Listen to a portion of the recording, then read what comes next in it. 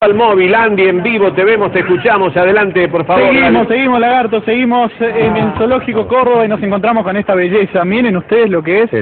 Taruca, 70 años tiene Taruca, esta viejita que vive aquí en el zoológico Córdoba desde mediados de los 90, ¿no? Está enojada. Y aquí con nosotros va a festejar la Pascua por anticipado en este Viernes Santo. Miren ustedes cómo mira la cámara, cómo hace ojitos, recién se estuvo maquillando para nosotros. Allí con la trompa también saludando a todos los cordobeses y los invita, por supuesto, a que vengan al Zoológico Córdoba este fin de semana, en estos días que tienen para descansar la gente, los chicos con los abuelos, ¿por qué no? Que vengan a conocer a, a Taruca, que, bueno, como les dije, don- lo- desde los 90 está aquí en el, en el zoológico de cuidado de Carla, de, que, de Carla, digo, Carla de Alborno, quien es su, su cuidadora, es su bióloga, ¿verdad? Sí, en realidad yo trabajo, estoy a cargo del área de enriquecimiento ambiental, que trabajamos con todos los animales del parque, eh, sobre todo sobre su bienestar, digamos.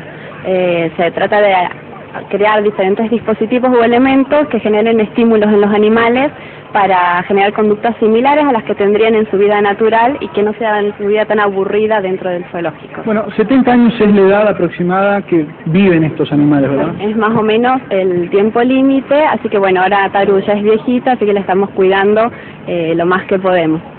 Eh, ¿Tienen pensado eh, traer otro elefante, otro elefanta? La tendencia actual de los zoológicos es tratar de no tener este tipo de animales, ya que tampoco se les puede dar las condiciones eh, tan adecuadas como tendrían, eh, deberían tener. Así que, bueno, por ahora, eh, si bien. no nos acompaña más, eh, la idea es no, sí, para preservar la especie, digamos, en vida silvestre. Gracias, Carla. Bueno, vamos a proceder al, bueno, a entregarle el huevito de Pascua que hemos preparado para, para Taru.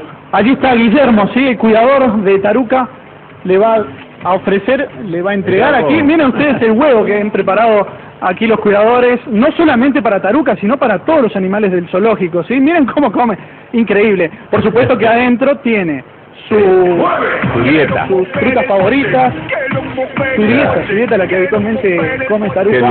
Este, además eh, tiene en, en, en este huevo de Pascua alfalfa con maní, Ah. que es lo que habitualmente come Taruca. Que Aquí no es dan- taruca, es no, onza, pero ¿no? también es una señora, claro, Taruca no la tiene taruca, mira, abrió el huevo y sabe que adentro están Claro. las cosas. Bueno, gracias Andy, volvemos en un ratito, le mandamos un saludo Bueno, a la señora, ta- señorita. Sí, señorita Taruca. Señorita Taruca, que Taruca, sepamos. Bueno.